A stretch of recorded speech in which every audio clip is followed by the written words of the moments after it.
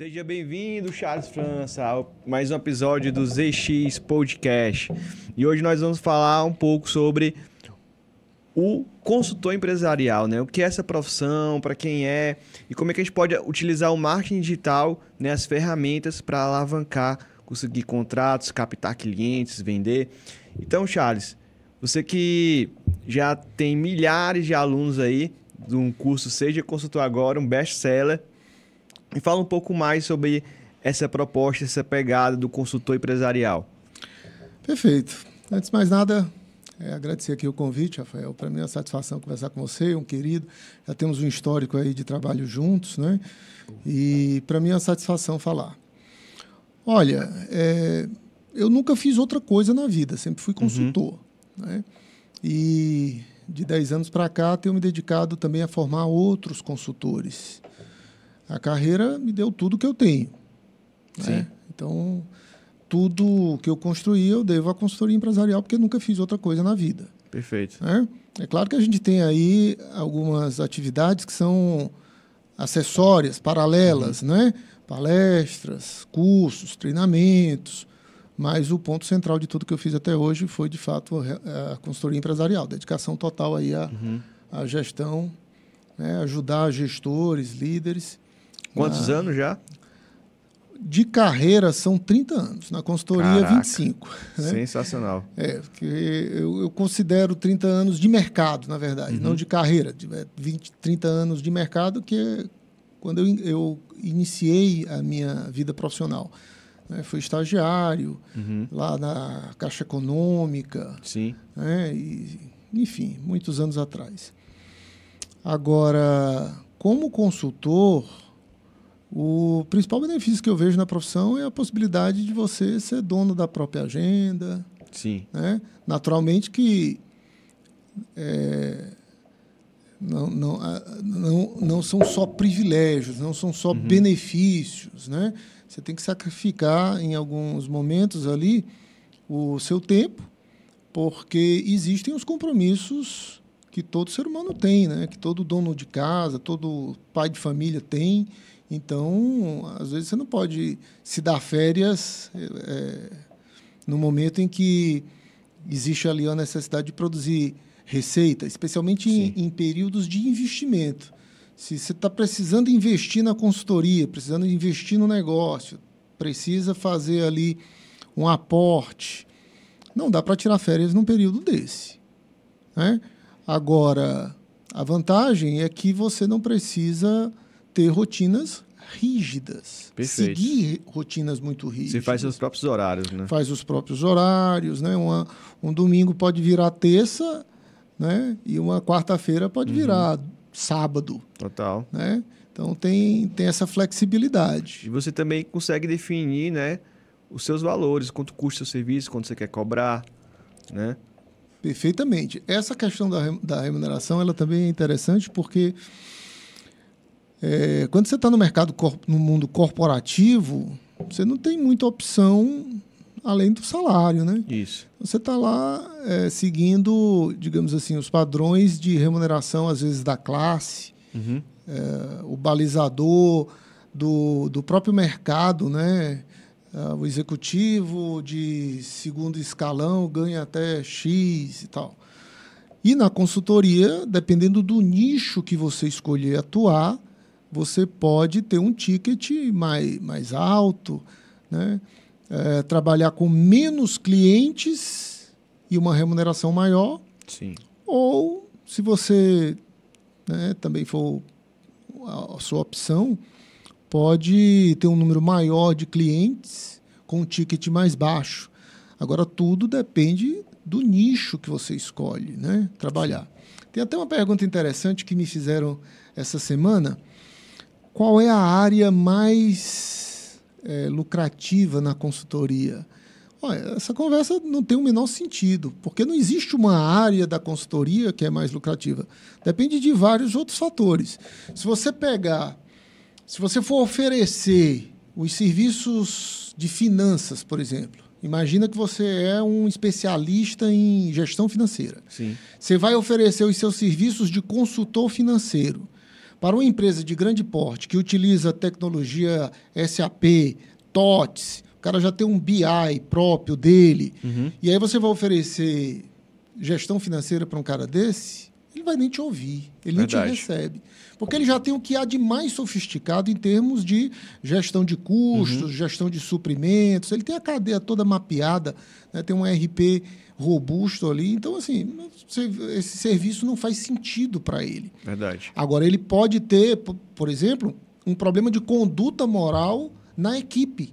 Uhum. E aí você oferece a implantação de um código de ética, a disseminação de valores, né, a cultura organizacional. ah, aí você já consegue a atenção desse cara, especialmente se ele tiver, como eu te disse, um problema ali de eh, conduta moral né, na- na- no núcleo da gestão ou na empresa de modo geral como, como organismo. Legal. É, tem um outro exemplo também. Deixa, desculpa, só para concluir, que agora eh, me veio aqui à cabeça uma outra situação. Se você for para uma empresa de pequeno porte, em fase de expansão, para oferecer o oposto, ou seja, você vai oferecer um código de ética, ao invés de oferecer os serviços financeiros, você é um especialista em gestão de pessoas, você conhece bem a questão eh, de cultura organizacional, implantação de valores, senso de visão, de missão, e você vai oferecer isso para uma, empre- uma empresa de pequeno porte em fase de expansão. O cara está ali levando pancada dos fornecedores, dos credores, dos funcionários, dos clientes, e você chega falando de conduta moral, ele vai rir de você. Uhum. Porque a necessidade dele não é essa. A necessidade dele nesse momento é controle. O que ele precisa é de processos bem definidos, controles e gestão financeira. O cara não sabe nem quanto é que ganha, quanto que entra, quanto que sai. Então a necessidade dela, dele é essa. Não adianta você chegar lá falando de código de ética que ele não vai te ouvir. Perfeito. Então, não existe essa de qual é a área mais lucrativa na consultoria. Existe posicionamento, né, nicho, tudo em função da sua especialidade. Certo. E também muito da, de acordo com a necessidade do cliente, né? Como você colocou. Então, como você acredita que o consultor pode definir qual é a especialidade o nicho dele de atuação? Primeiro, ele tem que ter um conhecimento útil para a classe empresarial. Se ele vai ser consultor empresarial, ele tem que ter um conhecimento que seja útil para a classe empresarial. Em função desse conhecimento, ele vai mapear quais perfis de empresa têm necessidade de resolver problemas com esse conhecimento que o consultor possui. Sim. Então é sempre na perspectiva de resolver um problema e nunca querer fechar um contrato a qualquer custo, porque se você não gera transformação para o teu contratante, ele, eh, aliás, isso vai macular a tua reputação. Você tem- forçou uma, o fechamento de um contrato e o cara tem problemas que você não sabe resolver. Sim. E aí ele te pagou para resolver algo, ele criou uma expectativa que você não conseguiu resolver. Isso vai arruinar a tua reputação. E reputação na consultoria é essencial, né? Total. Porque se se você tem um depoimento de um empresário que te pagou e você não fez, não entregou o prometido, para quantos outros né, ele pode dizer isso e, e quantos, quantos outros eh, deixarão de te contratar por medo de caírem no, no mesmo eh, gato por lebre, né, digamos assim. Sim. E o que, que você acha que a pessoa pode esperar se tornando um, um consultor empresarial? Dá para viver disso? É algo que você tem que recomenda mais como um, ah, algo extra, ali um plano B, ou não? Cara, eu posso viver somente como consultor empresarial. O que, que ele pode ter de expectativa de resultados se tornando um consultor? Olha, quem faz consultoria no tempo extra é um amador, ele não é um profissional de consultoria. Sim, Né? Ali é uma renda extra para ele. Não vou dizer que não seja uma alternativa. Pode ser uma alternativa. Mas ele não é um consultor profissional. uhum, Um consultor profissional, ele vive integralmente da consultoria. Isso é o que diferencia o amador do, do profissional, né? sim, E se dá para viver? Bom, eu estou há 25 anos nisso. Perfeito. Né? Então, naturalmente que dá para viver. Uhum. E exatamente, isso que você falou vai muito também de acordo de que para não é esse conteúdo, né, essa profissão. Quem é que você acredita que não deveria entrar, né, investir na profissão de, de consultor empresarial? Primeiro, quem não tem afinidade né, com a atividade autônoma. Uhum. Se você busca uma estabilidade, regularidade, trabalhar ali, vender o seu tempo, ser alguém. Tem pessoas que têm esse perfil, né? Sim. Perfil de conformidade. Quando quem estuda análise comportamental conhece bem aí o perfil de conformidade auto C. É um cara que gosta muito de rotinas. Isso. E ele acha, se satisfaz, não é? Assim, a grande satisfação dele é poder trabalhar de segunda a sexta, dando aquele expediente e não pensar em trabalho no final de semana. Perfeito. Então, quem, quem gosta de rotinas rígidas, é, provavelmente não vai, não vai gostar de viver, digamos assim, na imprevisibilidade que, se, que existe na consultoria. Uhum. A consultoria você pode ter um momento de grande demanda. Né? Hoje existem meios, através do marketing digital, acredito que a gente vai falar nisso, Sim. se você controlar mais a demanda. Mas até muito pouco tempo era mais. Havia um componente aí que era a imprevisibilidade. Então você tinha momentos em que a demanda era muito alta e isso representava um, uma reserva de caixa né, significativa. Só que aí você precisa ter a disciplina para poder manter essa reserva até que Isso, o ter uma boa caixa- gestão, né? Um controle. o gestão, controle, planejamento, planejamento. né?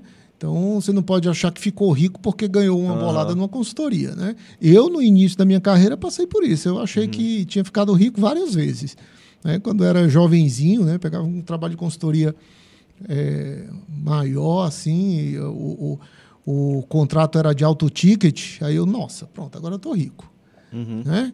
E aí a má gestão disso levava a situações de escassez. Sim. Então a maturidade veio e é, com o tempo a gente conseguiu equilibrar bem isso. Então não é para quem é, gosta de, de rotinas muito rígidas. A Sim. consultoria é mais para quem tem essa é, gosta de rotinas mais flexíveis e tem as capacidades, né, para fazer um bom planejamento.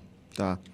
E assim, a pessoa também que está esperando ali é, ganhos surpreendentes, mudar de vida de uma hora para outra, com, como um- sendo um, um consultor empresarial, é, seria uma pessoa que também não, não seria bem o público desse é um curso? iludido. Iludido, né? né? É uma ilusão. Verdade. Você achar que, olha, eu não tenho nada, né? não tenho nenhum conhecimento, não tenho maturidade, eu vou entrar para a consultoria e a minha vida vai ser revolucionada pela consultoria. Não. Uhum. Como qualquer outro trabalho, exige dedicação, exige tempo, exige, exige investimento financeiro. Sim. Porque para se manter como consultor, eu não diria que é tão difícil entrar na carreira. O difícil é se manter na carreira. Sim. Porque você precisa se atualizar o tempo inteiro. E para se atualizar, precisa de investimento. O cara, às vezes, quer comprar um iPhone de, sei lá, 12 mil reais, 15 mil reais, mas ele não tem. não quer investir 500 reais num- numa capacitação. Na consultoria é completamente diferente, é o oposto. Perfeito. Né? Uma grande parcela do teu orçamento vai para a capacitação, vai para a, a aplicação em, em cursos, treinamentos. É, eu gosto do livro físico né, até hoje. Eu não, não, Sim. não me dou bem lendo com tablet ou no computador. Então, eu compro muitos livros. Então, boa parte do meu orçamento vai para isso, né, para capacitação. O cara que pensa que vai revolucionar a vida Sei. financeira na consultoria é ilusão. É, tem que ter os pés no chão e entender que é um trabalho que vai construindo ao longo do tempo, de longo prazo, né? Que é possível, sim, como você falou, viver disso, mas que é algo que você vai construindo com o tempo, né? Não é do dia para a noite. Perfeitamente. E eu, eu vejo que muita gente é, resolve investir nessa carreira de consultor empresarial, tem muito conteúdo, curso e tal, mas eu vejo que a maior dificuldade gargalo não é nem a pessoa aprender como ser consultor, aprender as ferramentas e tudo mais, mas é principalmente conseguir divulgar o seu trabalho, captar o cliente, fechar um contrato, enfim, fazer a venda.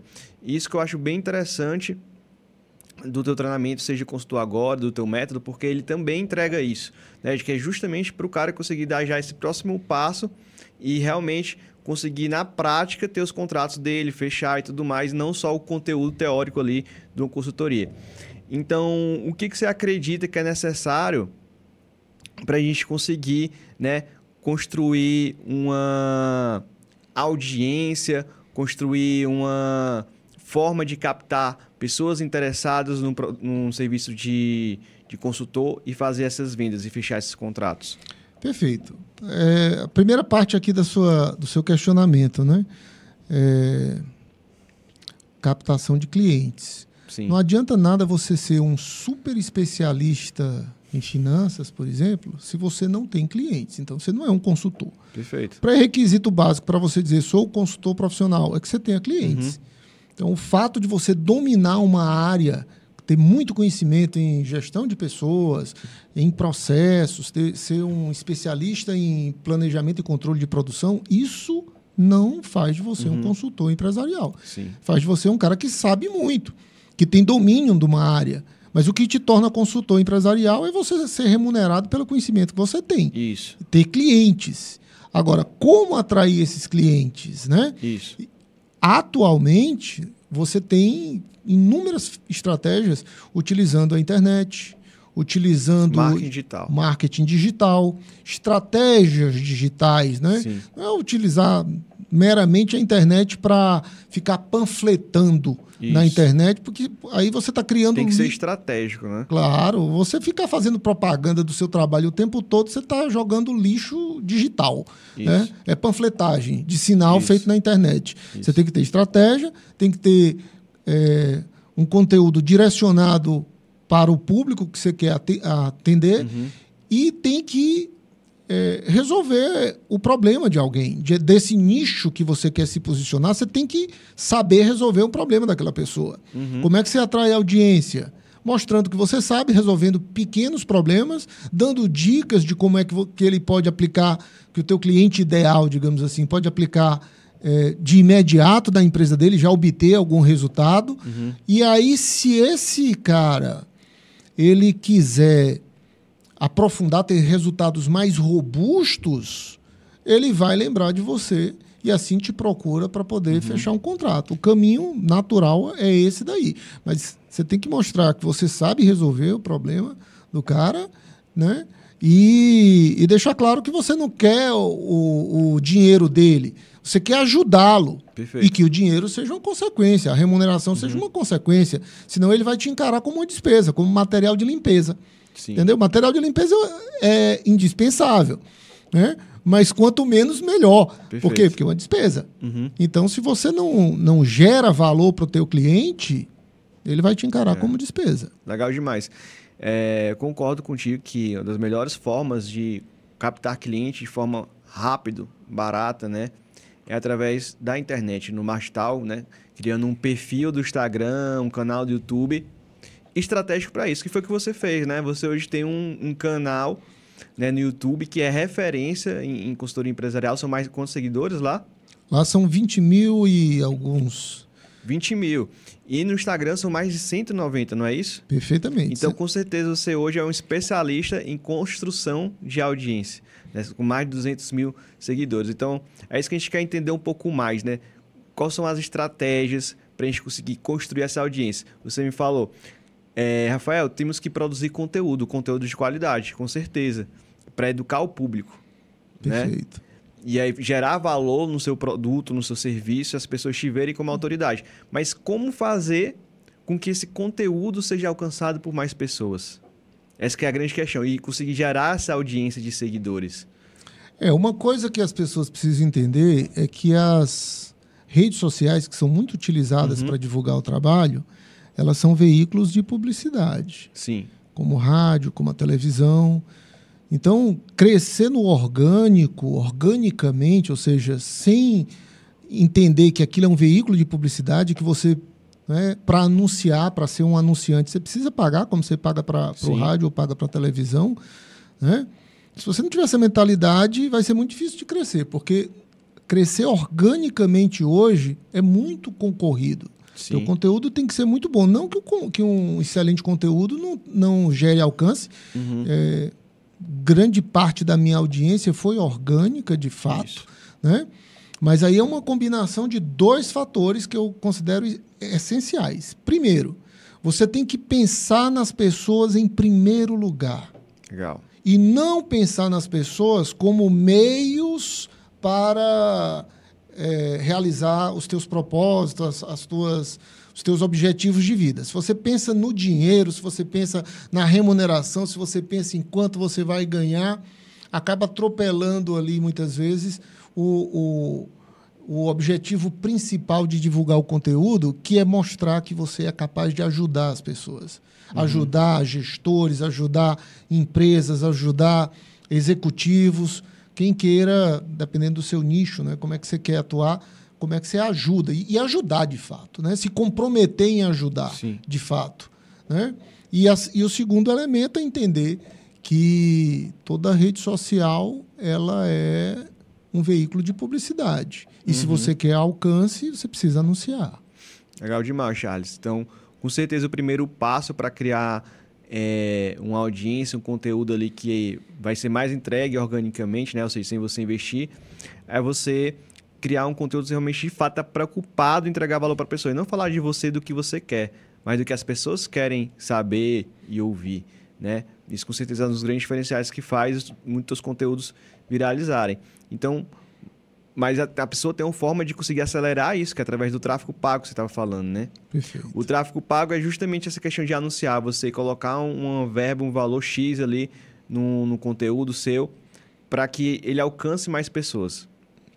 Mas se aquele conteúdo ele não for pensado estrategicamente, né, para alcançar mais pessoas, você vai estar tá torrando dinheiro. Perfeito. Né? Você tem que colocar o dinheiro no conteúdo que já está é, performando bem organicamente, foi pensado estrategicamente para realmente escalar, gerar impulsionamento.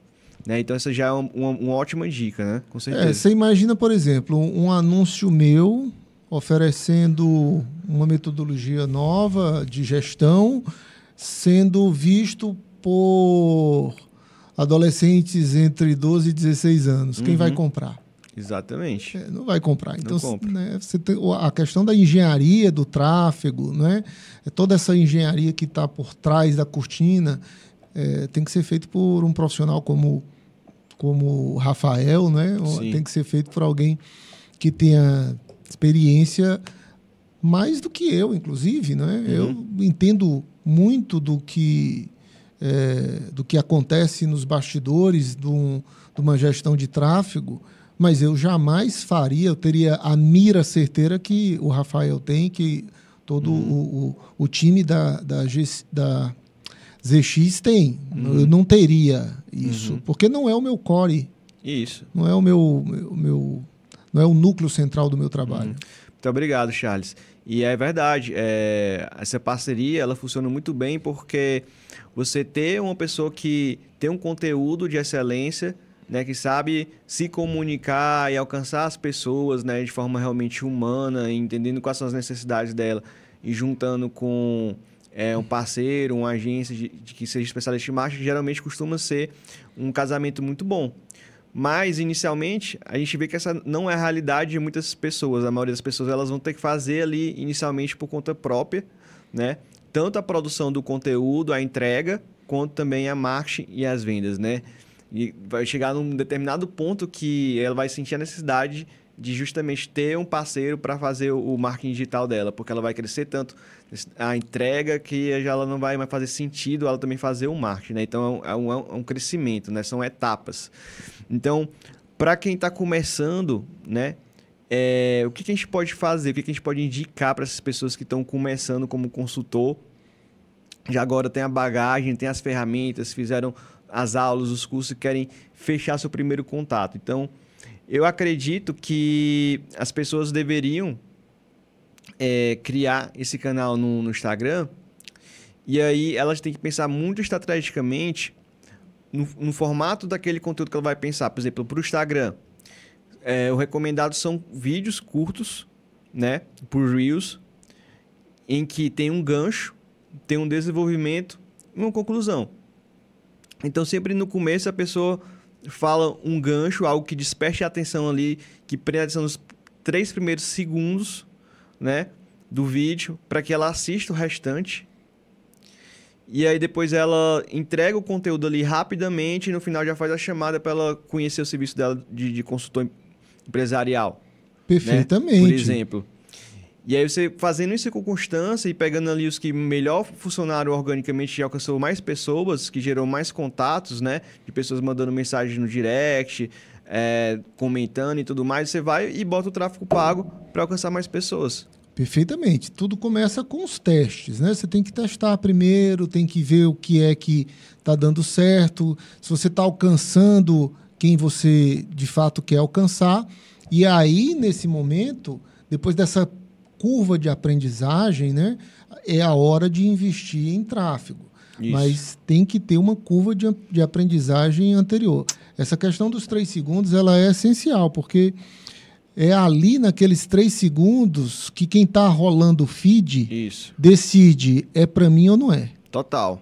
É? E ela é bombardeada de, de vídeos, de informações ali o tempo todo, tá rolando o tempo todo. Então, realmente tem que ser algo que prende muita atenção ali nos três segundos para ela evitar aquela rolagem que ela está fazendo de forma automática. Tem né? que ser certeiro. E outra coisa, é uma questão de justiça com o público. Uhum. Não adianta você usar eh, essa estratégia apenas para capturar a atenção da pessoa e fazê-la assistir o vídeo até o final, porque é, você não está fazendo justiça à sua, à sua profissão. Uhum. Então, se você utiliza isso como um artifício apenas para atrair audiência, para atrair pessoas, isso depois não vai se converter em. É, é, não vai se converter em remuneração, não vai se converter no negócio, porque a pessoa ela foi fisgada de maneira é, sorrateira, digamos assim. Sim. Então, ela entrou ali no teu, digamos, funil de vendas, mas ela não tem perfil para consumir o teu produto.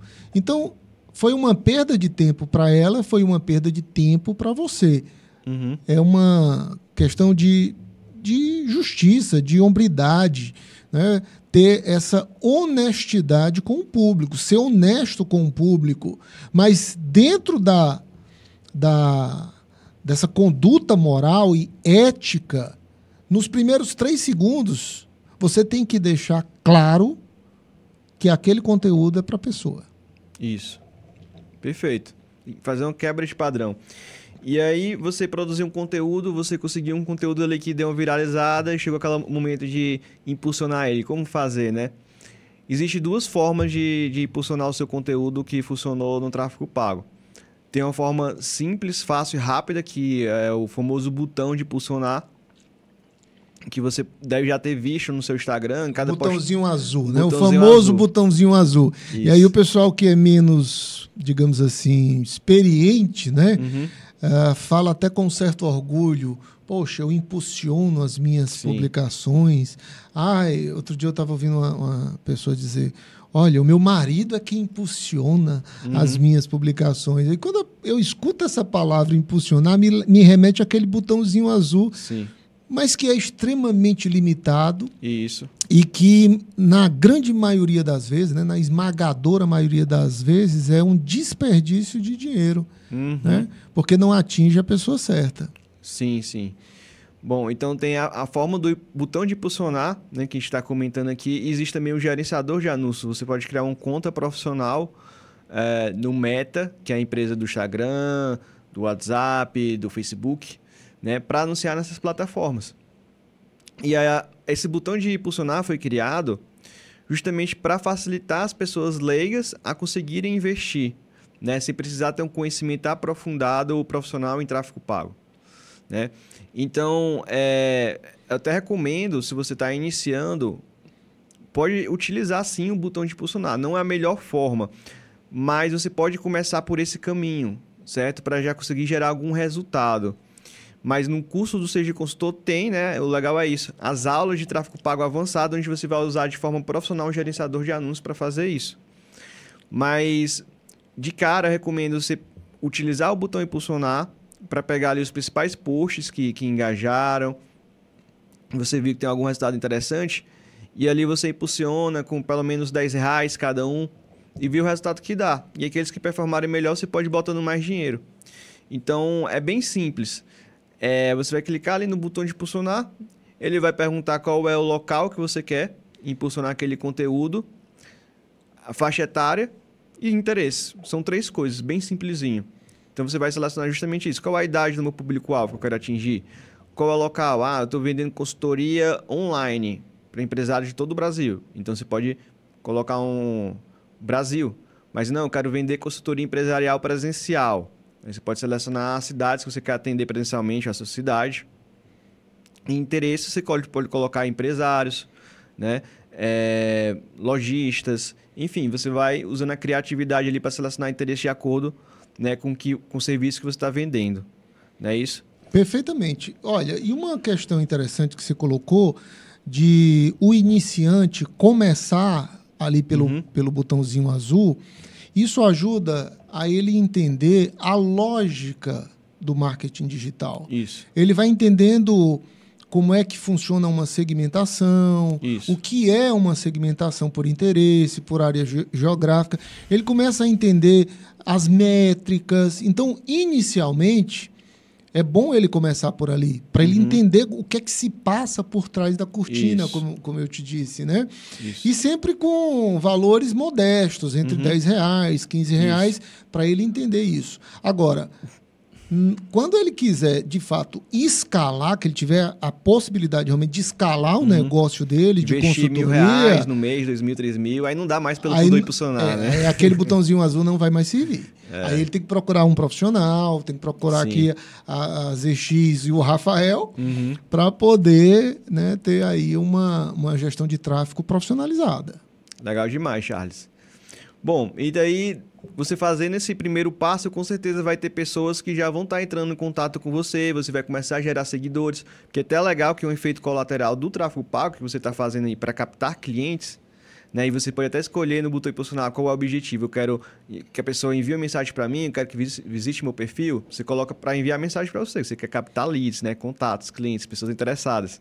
Mas gera um efeito colateral de seguidores, de alcance. As pessoas vão estar vendo aquele conteúdo, poxa, gostei, quero saber mais quem é essa pessoa. Clica no teu perfil, vê que tem mais conteúdo daquele, te segue, né? Então, à medida que você vai captando pessoas interessadas, você também vai crescendo a sua audiência. O legal é isso. Perfeito. E, vai gerando recursos, inclusive, é. para poder investir na profissionalização do marketing digital. É, perfeito, né? total. Né? Vai gerando os recursos.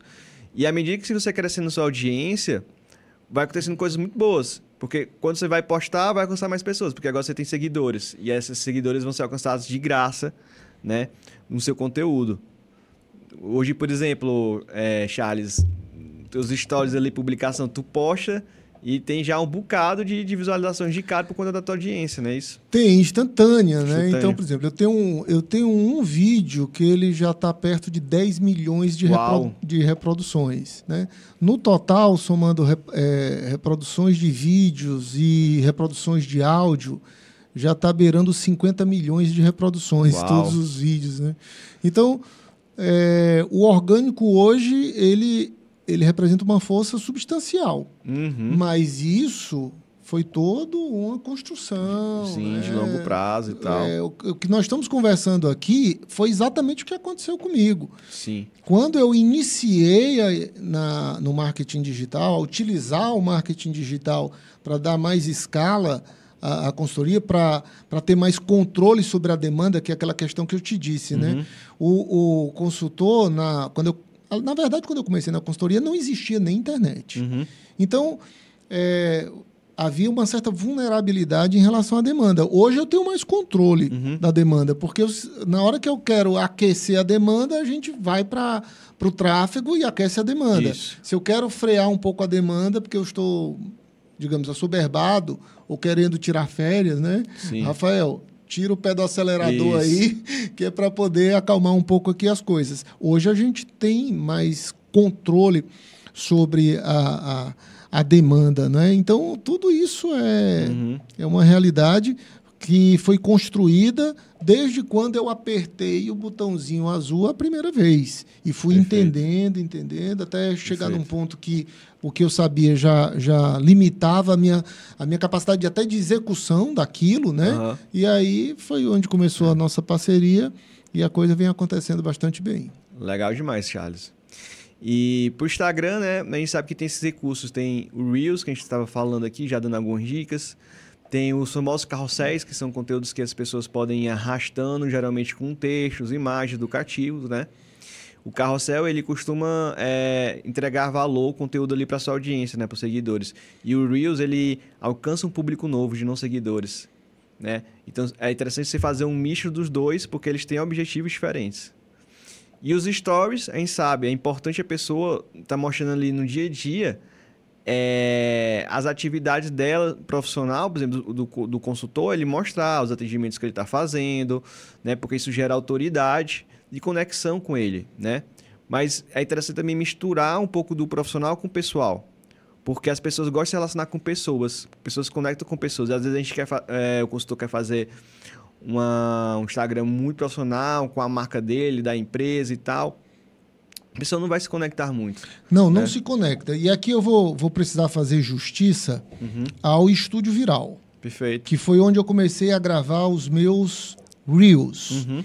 É importante o que você está falando aí, que o, os stories eles são mais adequados para mostrar a rotina, dia a dia, Isso. bastidores. Uhum. O Reels não. O Reels é entrega de, de conteúdo. conteúdo. Exato. E aí, existe todo um conjunto de coisas que são importantes aí não só é, a maneira de, de entregar o conteúdo, a fala, o copy, o roteiro, isso é muito importante, como a digamos assim, o ambiente ser amigável para quem está assistindo, Total. a qualidade do áudio é muito Sim. importante. Então você vê o seguinte, eu tinha praticamente o mesmo conteúdo antes de conhecer o pessoal lá no Estúdio Viral. Uhum. E depois que eu conheci o pessoal do Estúdio Viral, comecei a gravar lá. O mesmo conteúdo fez explodir no orgânico Sim. o meu. É, é, Instagram. Meu, meu, meu, Instagram, o meu uhum. crescimento. Então, estou fazendo justiça a eles, porque isso de fato aconteceu. Sim. Mas é um exemplo muito pedagógico de como fazer essa separação do tipo de conteúdo que vai para o, para o, o Reels, o tipo de conteúdo que vai para o Story e aquilo que vai para o perfil como publicação. Perfeito. Né? É completamente. É, tem que estar completamente harmonizado tudo isso. isso né? E aí. É, seguindo dentro do que a gente estava né, construindo aqui em, em, termos de raciocínio, né? É, cresce, houve aquele crescimento orgânico, mas chega um momento que você precisa do tráfego pago para alcançar a pessoa certa, para é. converter, porque só a audiência também não paga conta. Total. Né? Você não é. pode chegar para comprar um carro e dizer o seguinte: conta. olha, eu tenho 190 mil seguidores, dá para trocar por um carro novo? Não, não vai dar. É. Né? Então você tem que ter ali também Monetizar a questão. Monetizar essa audiência. Monet... Mas é legal que quando você tem já essa audiência, quando você vai fazer o tráfego pago, o tráfego pago acaba ficando até mais barato né? Essa é uma grande vantagem, porque como as pessoas já te seguem, tem um relacionamento, o custo por clique no anúncio, o custo por visualização, o custo por contato gerado, ele fica, fica mais barato, né? Então isso que é o legal de construir audiência, é você conseguir um retorno maior sobre o seu tráfego pago, tá? E a gente falando aqui sobre as estratégias do Instagram, os tipos de conteúdos para lançar, para comunicar e tudo mais, a gente é interessante falar um pouco do YouTube, né? Porque a gente vê também que hoje, para vendas, o YouTube ele funciona muito, principalmente para vender é, é, cursos, para vender mentorias, para vender consultorias, porque o YouTube ele é uma plataforma é, de entrega mesmo de conteúdo em massa. Muitas vezes no Instagram não, no Instagram é, as pessoas muitas vezes estão ali só para descontrair, para ver alguma coisa é, interessante, né? Algo, algo, algum entretenimento, né? Mas no YouTube as pessoas gostam de consumir muito conteúdos longos. Você vê as pessoas assistindo conteúdos de meia hora, uma hora, duas horas, três horas de duração, que é algo que não vai acontecer no Instagram, obviamente. Perfeitamente. Né? Então, às vezes, você até tem um canal menor, com menos seguidores no YouTube do que no Instagram, você vai ter até um retorno e vendas melhor. Então eu acho muito interessante que a gente também comentar um pouco desses conteúdos que podem ser produzidos por YouTube, né? E como é que pode ser monetizados. Charles, qual tu acha os conteúdos do YouTube, assim, é, se a pessoa fosse começar um canal do zero, o que você recomendaria para ela? Em primeiro lugar, entender que o YouTube ele tem um, ele é um motor de busca. Isso. É o segundo motor de busca mais utilizado hoje. Uhum. Primeiro o Google, depois o YouTube, né? Sim. Que pertence ao Google. Então, é, quando você vai produzir para o YouTube, é importante você ter consciência de que a pessoa está buscando. Ela está lá, ela já está querendo consumir algum conteúdo. Isso. Né? Então, quando a pessoa está buscando, ela está disposta a dedicar mais tempo. Uhum. Por isso, os vídeos no YouTube necessariamente tem que ser com uma entrega maior, Sim. mais longa, né? mais é, concreta. O Instagram, a maioria das pessoas que acessam o Instagram, elas estão ali procurando se divertir, passar o tempo, rolando Isso. o feed para baixo, muitas vezes assistindo ali. É, você chega no final do feed é, do mural de, de pessoas que você segue, e começa a aparecer as sugestões. Isso. E aí a pessoa fica horas ali naquelas sugestões é. ali, só vendo o que está passando, entretenimento. entretenimento, passando tempo. Isso. É diferente de quem vai para o YouTube, que normalmente não vai para lá para se aventurar é. a, a, encontrar alguma coisa interessante. Ela já vai procurando algo específico, quer aprender algo, né? ela quer buscar conhecimento. Então, é o, o ponto principal para quem quer começar do zero no YouTube é entender que você tem que entregar alguma coisa de útil né? Algo que a pessoa possa aplicar ali naquele momento, que resolva um problema uhum. dela. O conteúdo é, é, é tudo no YouTube, né? Um Legal. título bem feito, porque como é um motor de busca, você tem que usar as palavras-chave certas, né? E começar entregando ali o que você sabe, ajudando as pessoas, sempre nessa perspectiva. Uhum. Como que eu ajudo um determinado grupo de pessoas? Como que eu ajudo como consultor um determinado nicho da classe empresarial. O, o, meu conhecimento resolve o problema de quem? E aí você começa a falar para essas pessoas, ajudando elas naquilo que, que você consegue ajudar ali num vídeo curto, né? Que eu considero curto, né? É, comparado às horas que você dedica numa consultoria. Então, numa, numa consultoria você vai dedicar ali 60, 80, 90 horas para aquela consultoria, você não consegue fazer um vídeo de 90 horas. Uhum. Você vai fazer um vídeo ali de 30 minutos, 20 minutos, uma hora. Vamos lá, uma super entrega, duas horas, duas horas e meia. Isso. É uma grande entrega, Isso. uma entrega bem longa para os padrões de uma de um streaming, né? Isso. Mas isso não se compara à entrega que você faz numa consultoria que pode levar de 90 uhum. a 120 horas. Perfeito. Legal demais, Charles. E eu acho que para o YouTube é um formato hoje que realmente está bombando é, e as pessoas estão consumindo muito. É justamente o formato de podcast, né? E hoje está muito simples de você produzir seu próprio podcast. Existem vários estúdios que alugam, né? É, até valores acessíveis, já te entrega o conteúdo todo produzido, editado e tal, pronto para o próprio YouTube, né? Com os cortes, inclusive. E por que, que é legal o podcast? Porque além de ser um conteúdo longo, que entrega muito valor para a pessoa, você vai estar tá ajudando a criar sua audiência através de parcerias estratégicas. Porque você traz um convidado. Aquele convidado vai divulgar no, nas redes sociais dele o podcast. Então, aquela audiência dele vai começar a conhecer o seu conteúdo. Então, é uma ótima forma de você construir a audiência através de parcerias estratégicas. Além disso, quando você é, é, traz um convidado, você pode trazer um próprio cliente seu e ele contar um case de sucesso, dar o depoimento ali de uma forma leve, né, tranquila, numa conversa, no bate-papo, você aquele vídeo ali de, sabe, pá, de depoimento, né, que acaba ficando uma coisa muito formal, né? Então, é uma estratégia para gerar autoridade para você, através desses depoimentos, e de capturar audiências, né?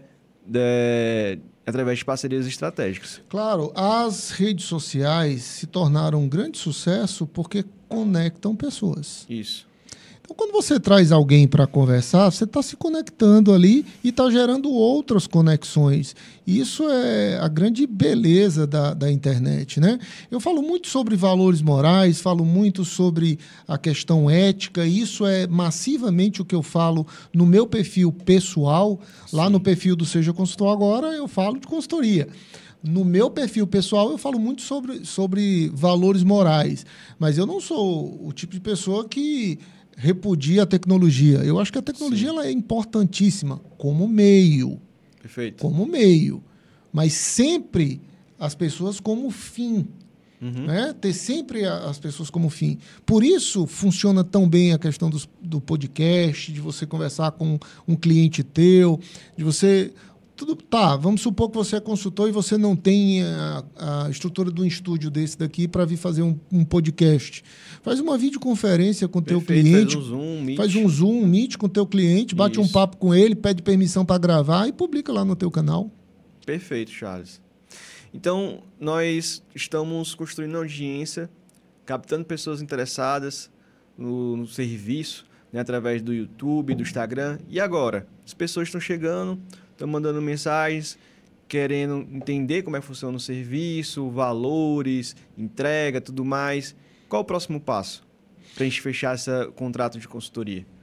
Perfeito. Primeiro, é honestidade com o teu prospect. Uhum.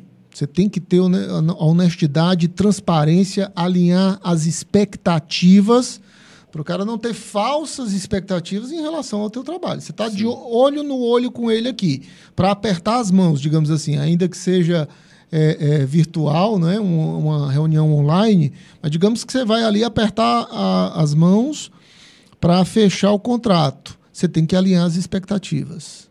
Perfeito. Para ele não criar uma expectativa maior do que a tua entrega. Isso uhum. seria um desastre. Uhum. O ideal é que ele te contrate com uma expectativa menor do que o que tu vai entregar. Que aí ele fica deslumbrado quanto a entrega. Legal, isso é o famoso over delivery, né, Charles? O over delivery, exatamente. Então a, a ideia é essa, para fechar o contrato, você tem que ter transparência, porque é o seguinte: se você perceber que o cliente, que você não pode ajudar o cliente, esse é um motivo para você mesmo recuar. Uhum. E se o cliente, se você perceber que o cliente não tem maturidade para o teu serviço, recue também. Não queira fechar o contrato a qualquer custo, apenas porque vai gerar caixa lá para o teu orçamento. Não pense só nisso não, porque se você contrata um cliente que não tem perfil para consumir, ou não tem maturidade para consumir a tua entrega, ele vai se tornar oneroso e um péssimo depoimento no futuro. Beleza. Exatamente, você tem que selecionar os seus clientes, né? Porque prestação de serviço é diferente de vender um produto. Na prestação de serviço, você vai ter um relacionamento ali com o cliente durante a entrega, né? Ele tem que estar preparado, a estrutura dele para receber aquilo. Não adianta também você, poxa, dou consultoria, entrega e tal, e o cara não tem a estrutura necessária para botar aquela consultoria em prática, para implementar. Porque ele vai ter que fazer aquilo ali. Ele vai ter que seguir o passo a passo. Ele vai ter que ter equipe para implementar, não é isso, Charles? Exatamente. Se o cliente quiser que você vá executar o serviço lá uhum. dentro da empresa, ele está querendo um funcionário, ele não está querendo um consultor. Então você tem que entender que esse cara não tem maturidade, ou então não é essa a necessidade uhum. dele, ele não tem necessidade de uma consultoria, ele está precisando de um funcionário. Está precisando de um executivo. E aí você tem que ter essa maturidade uhum. para entender que é, o cliente precisa é, compreender, ah. alinhar. É isso que eu chamo de alinhar expectativas. É o cliente entender o que é que vai ser entregue. E se ele tem condições de executar aquela entrega. Perfeito. Né? Legal demais, Charles. E o, a gente sabe que o serviço de, de consultoria ele é um serviço de alto ticket, certo? É bem valorizado e tal. Até porque a entrega é uma entrega uh, que demanda bastante tempo, né? Uh, alguns meses e tal.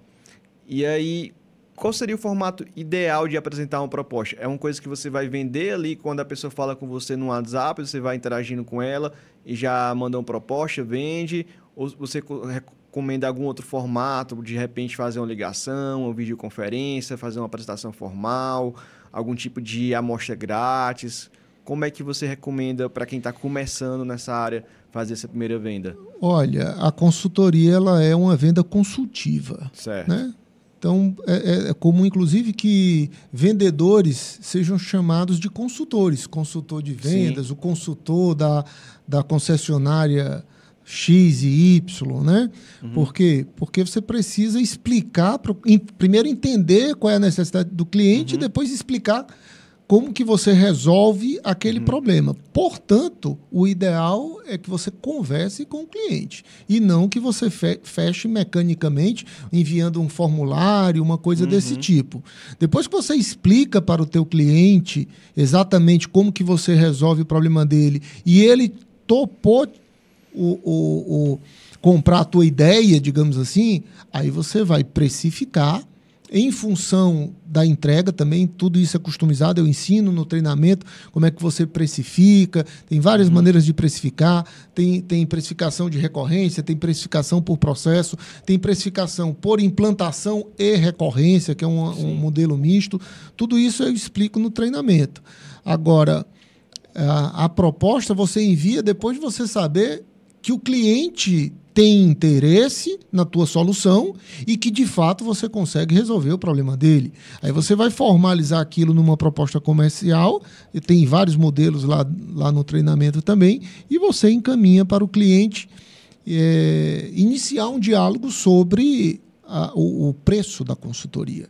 É, isso, então você manda a proposta, por isso que o nome é proposta, né? Você está propondo, não quer dizer uhum. que o uhum. cliente vai dizer está é, é, tá fechado. Né? O cliente pode querer barganhar ali. E vai também da sua é, também do seu posicionamento. Eu, particularmente, eu não negocio o preço. Sim. Né? Quando o cliente vem querendo barganhar, eu digo logo: olha, aqui é igual gasolina. É, o preço é o que está na bomba. Então não adianta, né? Então é, não negocio o preço. Uhum. É, eu já mando um preço que seja adequado, justo né, conforme a minha entrega, normalmente um preço que quando o cliente contrata, ele percebe depois que a entrega foi muito maior do que o, do que o preço uhum. que ele pagou, portanto ele teve um ganho real, um ganho financeiro real. É, normalmente é assim que eu ajo, mas eu confio que o cliente é, aceite o meu preço para constatar isso no futuro. Não, não barganho, mas vai de cada um. Legal demais, Charles. E aí você envia essa proposta para o cliente, apresenta para ele, né? Seja numa reunião presencial ou online, né? E aí, quais são os próximos passos? Provavelmente o cliente ele não vai fechar ali na hora, né? Justamente por ser uma prestação de serviço, um serviço de mais alto ticket, não é isso? E aí, como fazer com que ele não esfrie, né? Você tem que manter ali uma constância de follow-up de contatos com ele, definir uma data, até quando você me dá uma resposta, né? Enfim, como é que a gente consegue de fato fazer essa concretização do negócio depois que é enviado a proposta? Quais são as técnicas para isso? O ideal é ter um CRM. Perfeito. Né? Você ter ali um mecanismo de gestão daquele, daquela negociação. Uhum. Normalmente, eu pergunto ao cliente quanto tempo ele precisa para me dar um retorno. Certo. E aí eu já lanço ali. Ele diz: Não, eu preciso de três dias, vou consultar aqui, não sei quem, tal, tal, tal. Tudo bem, dou uhum. aquele tempo. Deu aquele tempo, eu entro em contato novamente para saber qual é a devolutiva dele. Sim. Né? Se ele me pede mais tempo, eu concedo uma vez. A terceira vez eu já entendi que o cara não quer. Sim. E ele está constrangido de dizer não. de dizer não. Eu também não vou ser deselegante. Uhum. Mas se o sujeito ficar me devendo uma resposta e ele não vier me trazer a resposta, depois da segunda vez ele nunca mais fala comigo. Nessa existência, não. Caraca. É, porque aí eu mando ele para para é, é uma, uma, uma, parte lá do CRM que é, é negativo. Né? Uhum. É, a, a, foi infrutífera a negociação. Se ele entrar em contato de novo comigo, nessa vida ele não fala comigo mais, não. Caraca. Legal demais esse posicionamento, Charles, porque isso te posiciona, né? Isso valoriza o serviço. Claro. É, é, é, difícil as pessoas, as empresas, muitas vezes, que têm coragem de fazer isso, mas é necessário. Né? E isso gera muito valor, é muito benéfico para o negócio, né? para o consultor, com certeza, no longo prazo. Mas você tocou num ponto importante que é o CRM. Talvez as pessoas que estejam assistindo aqui não saibam o que é o CRM ou como funciona, né? E o CRM ele é uma plataforma onde você organiza os contatos né, das pessoas interessadas no seu serviço. Então, lá tem um funil de vendas, de etapas, você define quais são as etapas, por exemplo, né? Uh, entrou em contato, está é, tá interessado, é, recebeu a proposta, né? Está analisando a proposta, está em negociação e fechamento. Isso, por exemplo, pode ser etapas de um funil de um consultor né, que está vendendo. E aí você cadastra as informações lá do lead, nesse, nesse sistema, né? Nome, e-mail, WhatsApp, quais são as objeções, qual é a empresa dele, contatos, Instagram, tudo mais. É, ticket da, da proposta dele, né? E você vai movendo nas etapas. Então você não se perde, você não sabe, você não esquece qual é os contatos que tem que contactar, em qual dia você deixa agendado lá o dia que tem que retornar, né? Sabe ali se ele está em negociação e tal. É um sistema para organizar, porque às vezes você fica só no WhatsApp, você esquece, perde ali os contatos, várias oportunidades de vendas, né? E eu vejo que a maior parte das vendas, elas estão justamente nesse funil, né? Do, do, é, do primeiro contato até o fechamento é a maior parte das vendas. Então, se a pessoa não faz esse acompanhamento, essa organização, ela vai perder pelo menos mais de 50% das vendas dela. Perfeitamente. Né? E é o que a maior parte das pessoas fazem que não usa o CRM. Perfeitamente. É, o CRM é uma ferramenta extraordinária. Eu não, não conseguiria fazer a gestão dos contratos sem um CRM, né? E no treinamento a gente oferece uma ferramenta foi desenvolvida por nós internamente, né, em parceria é, com outros colegas aí, que é o EasyWay.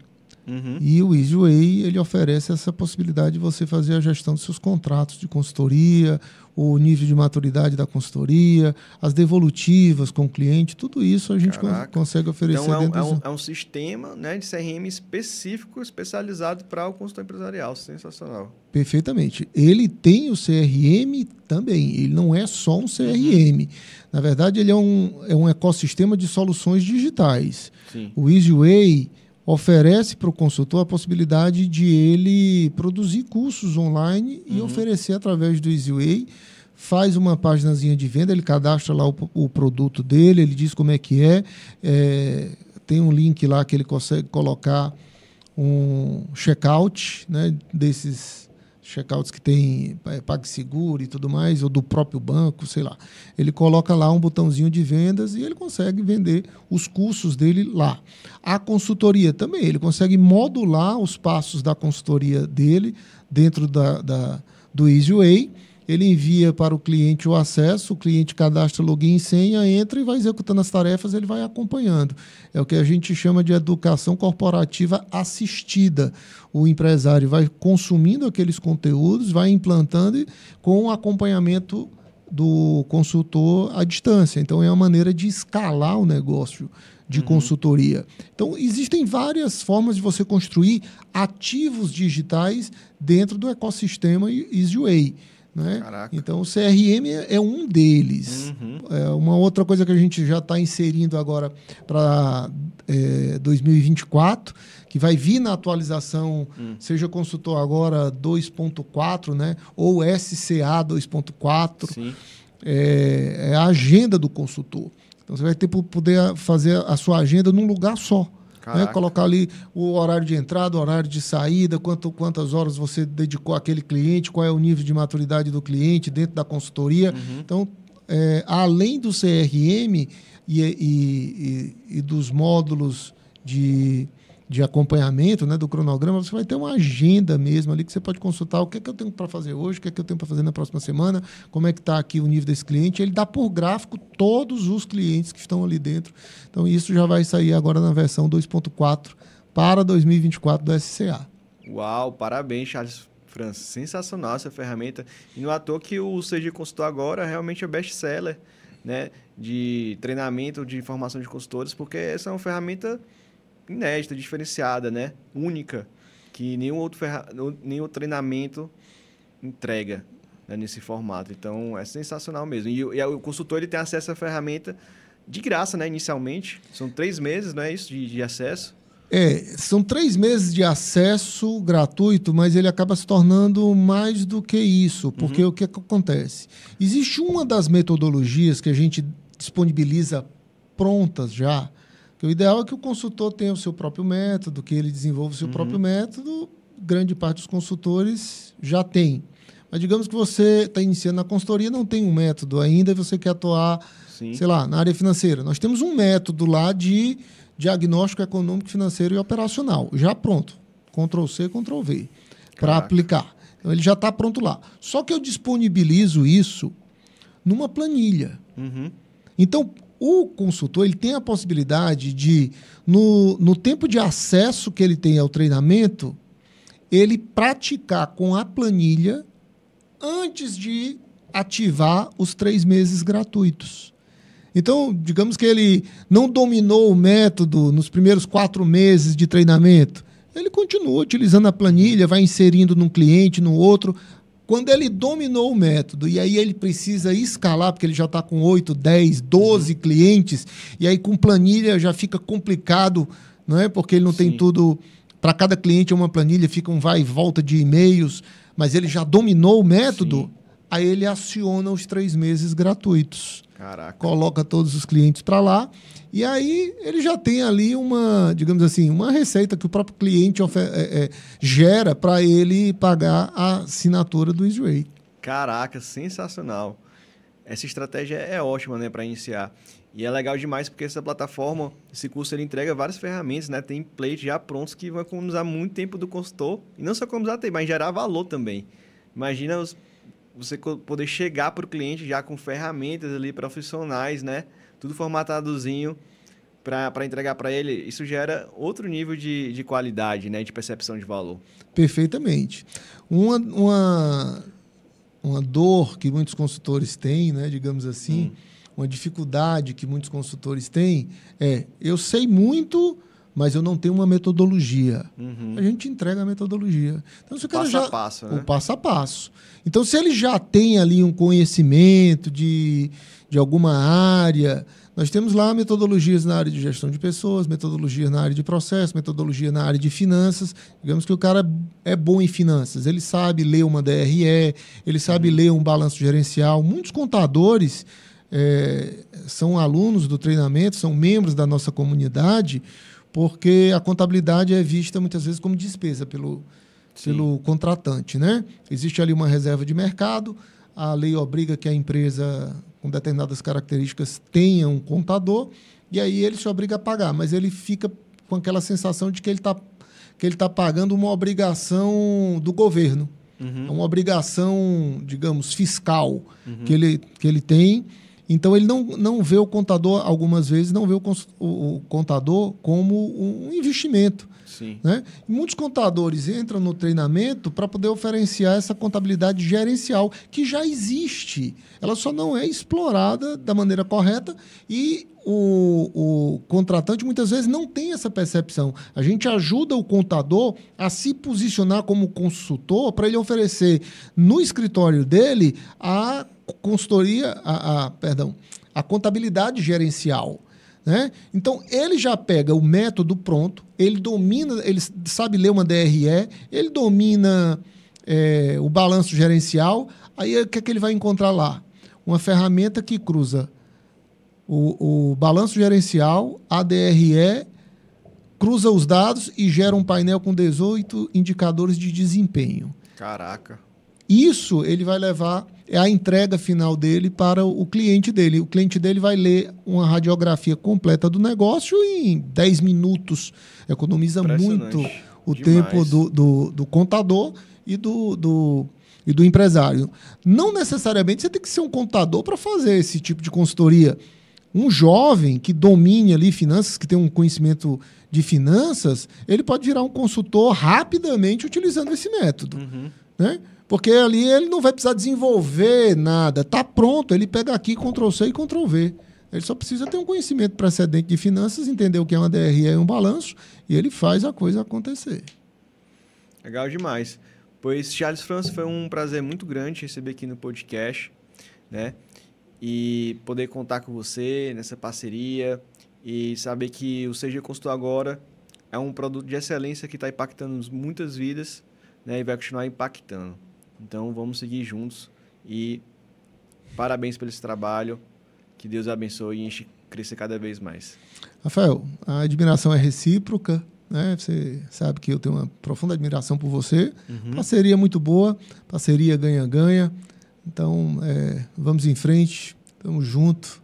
Tamo e... junto.